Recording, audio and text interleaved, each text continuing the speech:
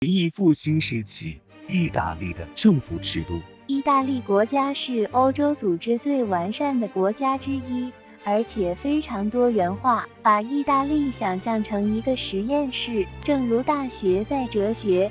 科学、法律和社会关系方面创造了一种新的思维模式，即通过形成一个庞大的、有文化的、无阶级的年轻学者阶层。意大利各个国家也在尝试新的。往往是对立的行政形式，成为其他欧洲国家的榜样。意大利十五世纪后期，当意大利看到政治活力如果不是文化活力开始长期下降，比如两个西西里是指西西里和那不勒斯两个王国的统称。原本是意大利其中一个后裔诺曼王国，这个地区以引领最初的十一世纪文艺复兴而闻名。它见证了将希腊和阿拉伯语作品翻译成拉丁语的最大规模。萨雷诺医学院是作为世俗学者医师培养女性的唯一一所主要中世纪大学。经过希波克拉底、盖伦、阿维森纳的翻译。形成了中世纪的医学知识。政治上，省在十一世纪以前部分处于希腊、阿拉伯、伦巴第的统治之下，并有强大的犹太共同体。意大利是犹太讲希腊语居民的的故乡，他们在十一、十三世纪传播到德国，提供了德系犹太人。西西里很可能已经成为一个说。阿拉伯语的商业共和国，由犹太与埃及的信仰犹太的宗教关系密切的皈依家族领导。实际发生的是诺曼人为了这个岛的征服。从负面来看，这是一个极其残酷的事件。长此以往，可能会通过逐渐施加封建主义。消除犹太伊斯兰的因素，扼杀南意大利的发展。意大利南部黑手党以及类似的组织，通常是诺曼封建制度压制农民大地主的地方监工的工具的后代。这些组织已经衰落了几个世纪。往好的方面想。诺曼人在西西里帝国荣耀。西西里的诺曼王国长期统治西地中海，并使用了全部阿拉伯语。罗曼语可能是最早部署现代战时海军拉丁王国，因此阿拉伯海军上将是阿梅尔在西方战时海军术语中。十三世纪。西西里岛是神圣罗马帝国皇帝的所在地，可以说是第一个部署后来与开明法国相关的那种中央集权管理及中央直接监管各省的国家。和平威尼斯共和国完全是另一回事。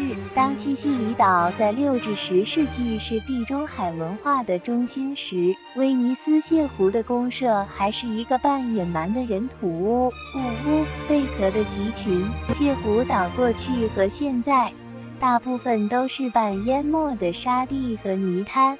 退潮时会露出水面。虽然泻湖的旱地也有一些森林点，栖息着野生动物甚至狼。当现存最古老的石头建筑圣凯尔教堂建于十一世纪时，那些可能仍然存在。城市一词 Veneti 对应着古代的 Hinati 或 Veneti，一个伊利里亚阿尔巴尼亚人或凯尔特人。他们的语言可能半淹没在泻湖岛，这些村庄完全无法进入。他们唯一的原生资源就是鱼。泻湖周围疾病肆虐的沼泽，居民们驾着帆船的技能，一次次击退了入侵的军队，包括法兰克人、斯拉夫人以及阿拉伯人。威尼斯水手成为亚得里亚海的主力。甚至在阿拉伯入侵的高峰期，几乎对罗马贸易开放。随着时间的推移，威尼斯为自己获得了希腊、埃及的地位，以及叙利亚海上贸易的主要出口。这种地位将一直保持到奥斯曼帝国衰落，并向其他西方贸易伙伴让步。为了确保这一地位，早期的威尼斯人利用他们的舰队使斯拉夫。氏族在亚的里亚海和其他罗马海上社区的支流，这是一个缓慢的过程。在十一世纪，异教徒斯拉夫人仍然可以杀死一个总都及其随从，但这进一步巩固了威尼斯对抗竞争对手的能力，像其他此类共和国一样。参与取决于主要公民，这已被纳入一些持有和投票选举公职的贵族氏族。到了十二到十三世纪古典时期，威尼斯和其他城邦，这些已经成为封闭的种姓。虽然贵族家庭的等级会定期向新成员报告开放，这种情况最多每隔几个世纪就会发生一次。威尼斯就像在类似的共和城邦一样，当权者。被严密监控，他们的衣着、习惯和任期都被安排在仪式中。这不仅指代人，而且在身体上限制了他们进行幕后交易或享受正常生活的能力。而在办公室，但是假设这些人是商数人就错了，他们是贵族。虽然威尼斯的主要家族在十二和十三世纪的黎凡特奢侈品的极其有利可图和高风险的贸易中发了大财，随着威尼斯获得新的领地离岸 （Stated Amar），包括庞大的坎迪亚王国、克里特岛和 Terra Firma 意大利大陆，这些贵族家族自然有转向更稳定。